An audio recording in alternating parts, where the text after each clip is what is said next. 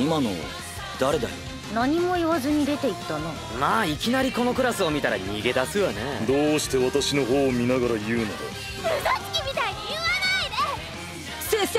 さすがは姉様です。あなたもこの世界に呼び出されたのですね。これで終わりです。かくなる上は！デスナイト君が消えてしまったでござる。あの人が新しい転校生ですか？ご主人様はね直文って名前だよ。